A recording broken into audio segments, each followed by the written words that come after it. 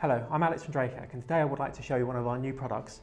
This is the Vigor AP903. This is our new mesh access point. It's a dual band Wave 2 mesh product that's uh, hot off the press, one of the first of the production runs. So I'd like to show you what's in the box.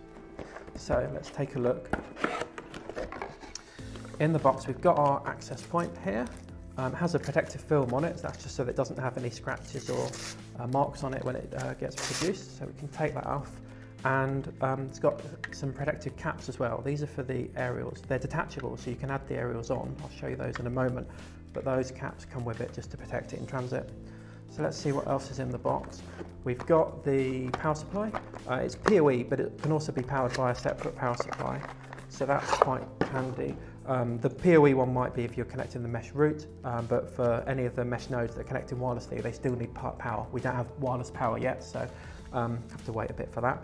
Um, so we've got uh, five ports on it and we've got the power uh, port here and there's a WPS button to turn that on and off and then we've got on off button for the uh, powering the device and then we've got a USB port. That can be used for um, connecting a USB thermometer so you can put it in a different position and uh, get it to re report the uh, temperature of the uh, area as well which is quite handy.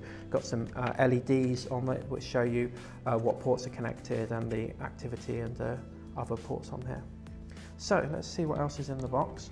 We've got a quick start guide. Uh, this is just some stuff to help you get it all set up. And also in here we've got an Ethernet cable, so that's useful for the mesh uh, root. We connect that to one of the uh, Ethernet ports on here.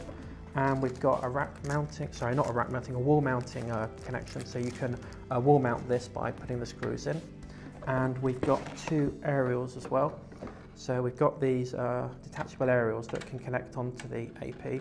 It's quite handy because it means you can use the aerials that come with it, but also you could upgrade them. So you could have directional aerials or higher gain aerials that you could connect to them that uh, are available separately. So the, yeah, that's the um, AP903.